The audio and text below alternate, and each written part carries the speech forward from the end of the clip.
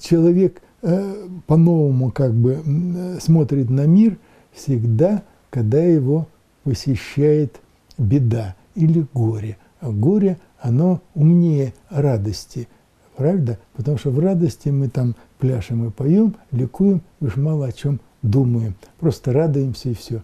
А, а горе как-то заставляет по-новому беда посмотреть на, на жизнь, э, понять, что не все так радужно, и, и, и все быстротечно, и начинаешь по-другому ценить жизнь.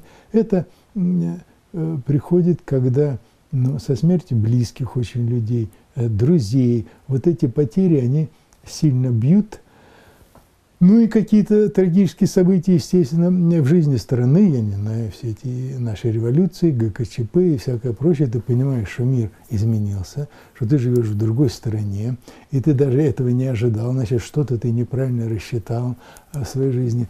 А, вот такого плана, э, ну так скажем, катаклизмы общественные и твои личные, какие-то катастрофы, вот они эм, чаще заставляют по-другому посмотреть, по-новому посмотреть на жизнь.